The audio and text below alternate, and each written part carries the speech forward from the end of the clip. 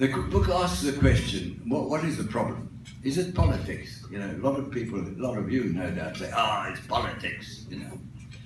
Uh, is it bad economics? A lot of you will say, oh, the government has bad economics. Is it irresponsible individuals? Or is it the world economy? So what I did was I approached the University of Cape Town and said I would like to run a course in political economy for MPs and uh, would they certify it? And what we did was we taped all the lectures, Trevor Manuel, Rob Davies, all these people were taped and my office typed out the, manuscript. It was edited and uh, I showed it to a publisher thinking it would never be published because it was massive. I mean, you know, it was a, a it was a manuscript of that size. And uh, she said she'd love to publish it. So it's a book for parliamentarians.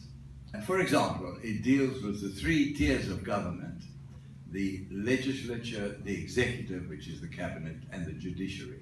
You see, the ANC is actually quite a powerful outfit and exercises a lot of influence. And it is actually, you know, we talk about the fourth arm, fourth tier of the state, which is the, the press, the media is the fourth estate. Uh, it, it, it, the media is actually the fifth estate. The fourth estate is the ANC. Because you see, within the political system of South Africa, policy starts with the ANC. That's why when Zuma said that he is first ANC and second state. There was an element of truth in that. We need, above all, to create jobs. I would like to see Blade and Nzimande start a, a, national program in cooperation with business, because business must come on board. And every government department must train. And that must be the national ethos. Train, train, train.